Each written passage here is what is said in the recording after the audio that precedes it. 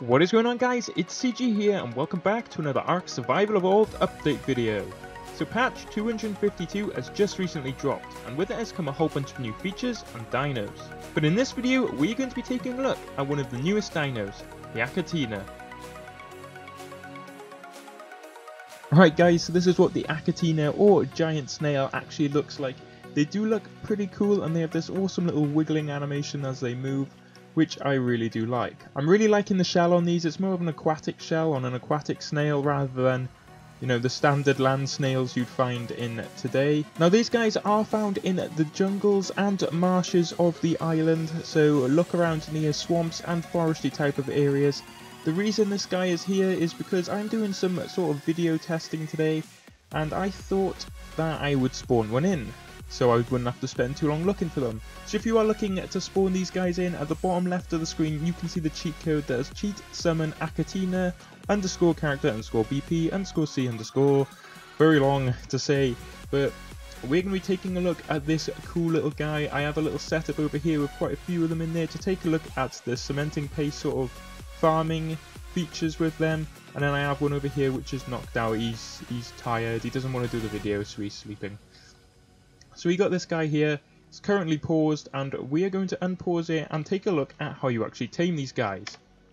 So they do move pretty slow as you can see, you can just walk up to them and they, they're just so slow you can walk faster. Well you're almost double or triple times the speed with walking, but they're so slow.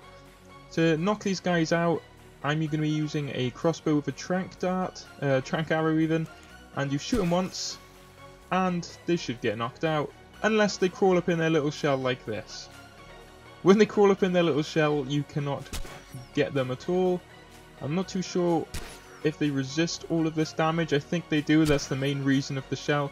But we're going to have to wait for this little guy to come back out here. He might take some time, so what we're going to do is spawn in another one. And we're going to get this guy from behind. One in there. And he's knocked out. There you go. He crawled up in his little ball, but it just wasn't enough, so it knocked him out. Let's see if we can get this guy again. Yeah, we got both of them.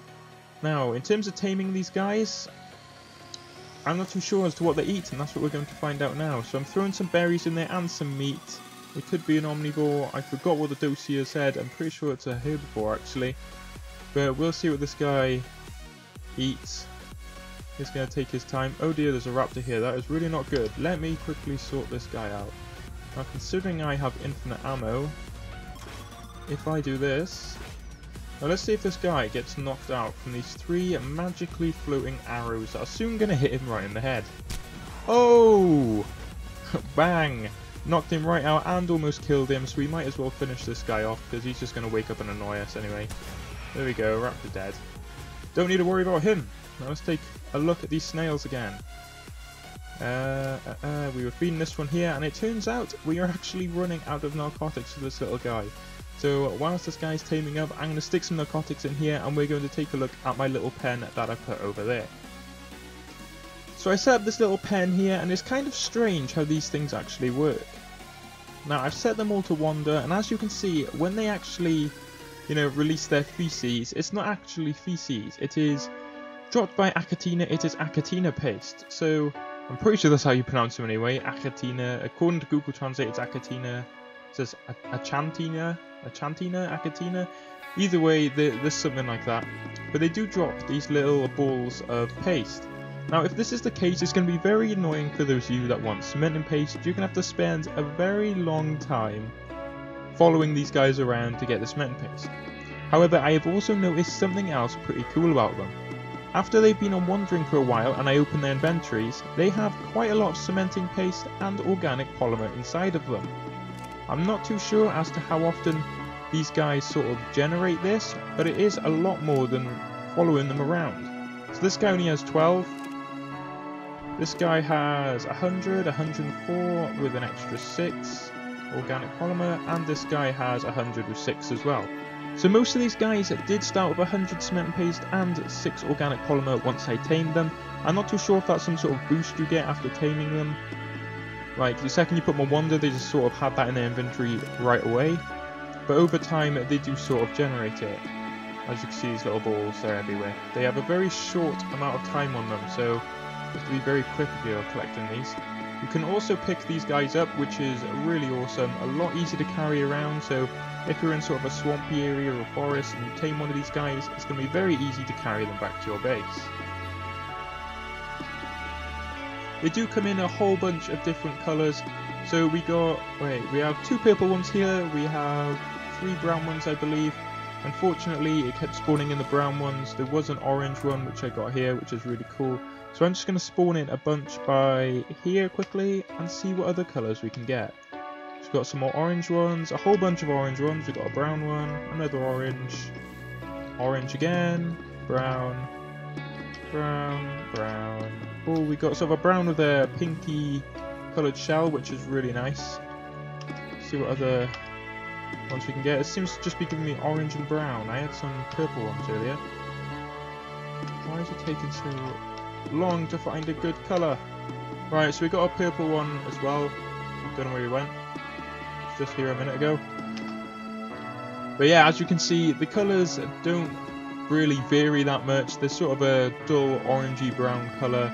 They have different colour bottoms, so we got orange with a green bottom there, we have orange with a pink one there.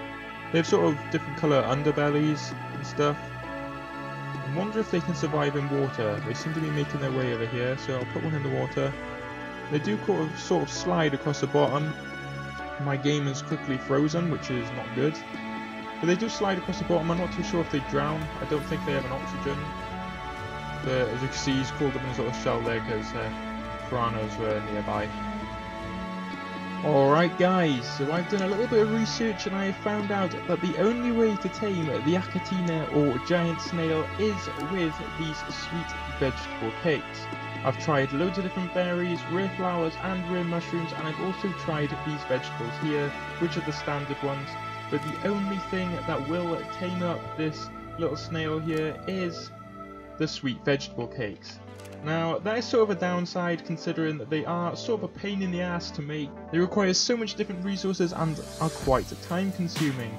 But there really is nothing we can do, that is their preferred sort of kibble, their only food that they eat, and I guess it is sort of worth it considering you are getting a unlimited cementing paste sort of farm out of it. Alright guys, so that is pretty much it for this video. I've come back over to these guys here just to show you that they do generate cement and paste over time. They are on Wander, and they have been sort of snailing around, and they have quite a few cement and paste in them. Now, if you were going to tame up a number this big, so we got five of them here, that is going to be a very time consuming process for you, and I sort of recommend going for a low level one, like a level 1 to 5, it doesn't really matter too much on the level, only there just to squirm around on the floor and they will tame up a lot quicker if you get a low level one, considering the sweet vegetable cakes are a pain in the ass to make and take absolute ages to tame up these guys. I just want to thank you all so much for watching and thank you for all of the support you guys have been giving me.